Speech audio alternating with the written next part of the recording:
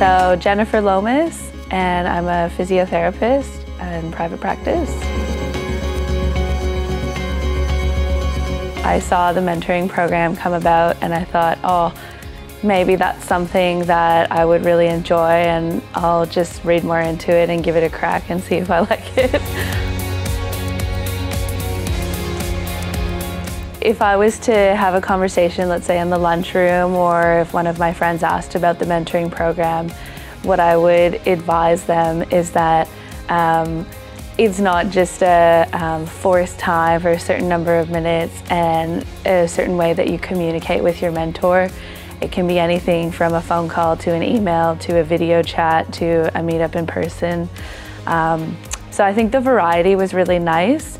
Um, and it's all on your terms. So how often you feel like you need support and um, if you need a bit more, you can meet more often. If you meet, need a bit less, you can meet less often.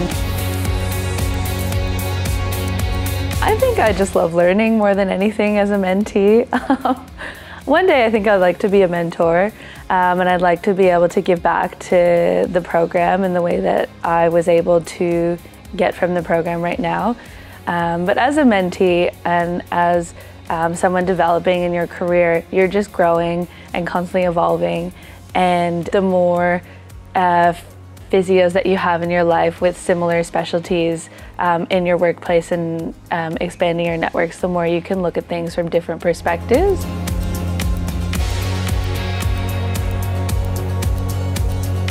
I've definitely started to find a specialty. Um, so I'm currently working on my sports physio titling now, um, and that's something that I'll continue to develop over the years. So before I started the mentoring program, um, I wasn't working in sport at all. And um, in the past year, with uh, I think just coincidentally, as well as hard work and um, you know, being in sport after COVID, obviously, uh, there's a few more things that have opened up, but I've started working from a league level to a state level to a national level to a world level in the past um, 16 months. So that's a huge change in my career that I wouldn't have achieved without the support of the program. I feel very fortunate and lucky and grateful to have had access to a program like this because I do think that it has definitely helped to change and shape my career moving forward.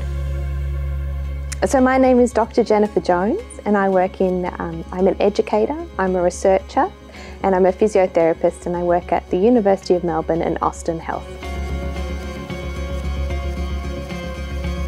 I think it's so important to support our next generation of physiotherapists. I've had some excellent mentors uh, when I was um, early in my career and they had a very strong sense of contributing back to the physiotherapy community, but also progressing the profession. Um, our graduates are so bright and anything that we can do to help them transition into um, healthcare professionals I think is, is really important and really valuable.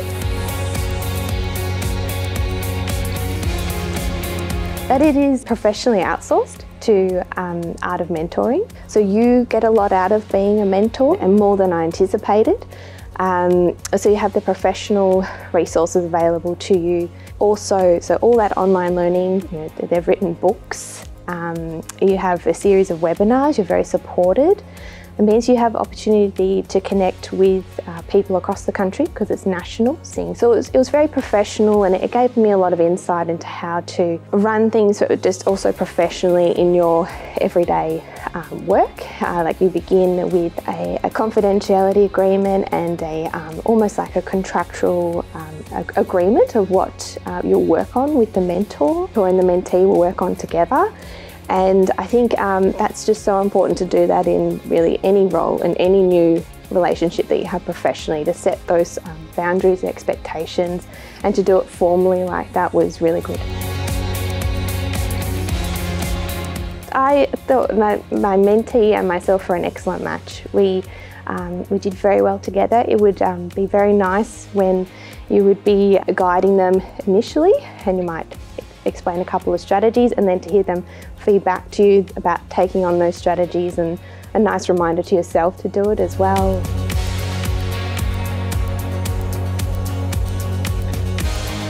For me personally, being a mentor, what I, from all of those fantastic resources available to us, I gave you guidance on how to be a mentor and they'd show some coaching sessions or some mentoring sessions and thinking about the structure of working towards a goal and how you're going to do that. You'll, you both get a lot out of it. In, and in terms of thinking about why it's a good reason to do it is because I, I think it's so important as physiotherapists that we um, contribute to our profession and we progress our profession.